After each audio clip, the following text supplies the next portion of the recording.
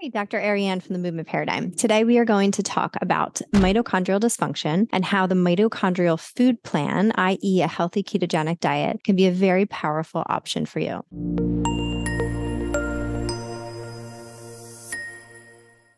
So, you may have heard in third grade that the mitochondria is the powerhouse of the cell, and that couldn't be more true. Essentially, it is providing us with 90% of our energy, and it is affecting everything in our body. Ultimately, it is driving how our cells are getting the energy they need to thrive. And so, when we have mitochondrial dysfunction, things that can be associated with this are things like headaches and migraines, chronic fatigue, chronic pain, neurodegenerative disease, even things like cancer and even digestive issues issues. All of this can be associated with some kind of mitochondrial dysfunction. Although there are a lot of ways to improve your mitochondria, especially through the form of exercise, today's focus, we're going to focus on the food aspect and the nutrition aspect. So, the mitochondria food plan, as I mentioned, is essentially a healthy ketogenic diet. So, it is based on the biochemistry of ketosis. Ketosis is a generation and accumulation of ketones from breakdown of fat when we have carbohydrates that are absent. And that typically is referring to under 50 grams of carbohydrates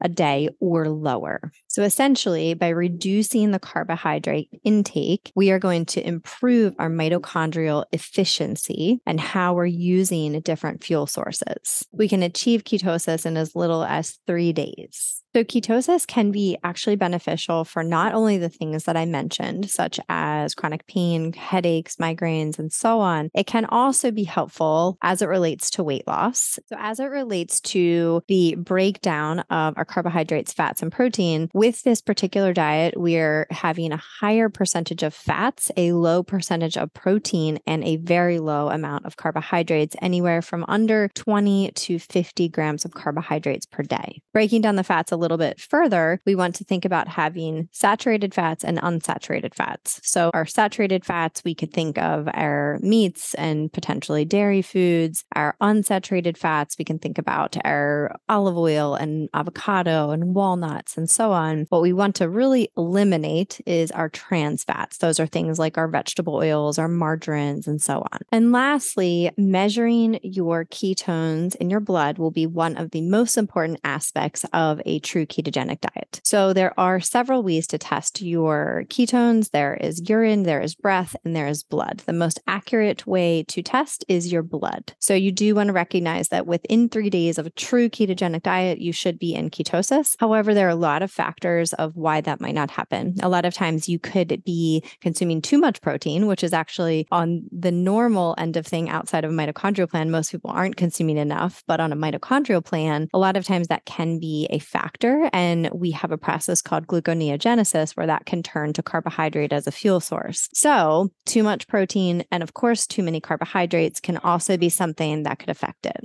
So, in summary, my goal today was just to give you a small taste of what a mitochondrial plan is and how it can affect you if you are experiencing some kind of mitochondrial dysfunction. This can be such a powerful tool in your toolbox. And when I'm typically prescribing this for someone, I might suggest doing it for 30 days to really determine how they're feeling, try to get them in a true ketotic state, and determine if this can really influence them in a positive way from an energy standpoint and, of course, from a symptomatic standpoint. There's lots of great research on ketogenic diet, especially as it relates to epilepsy and other neurodegenerative diseases. So please feel free to check those out and uh, dive a little bit deeper into the mitochondrial plan. And if this was helpful, give it a like, give it a share. Make sure to subscribe to our YouTube channel, The Movement Paradigm, for weekly tips on mindset nutrition, and movement. Of course, if you need help on your journey, we would love to hear from you. So please reach out, send us a message, set up a discovery session, and we will help you on your journey.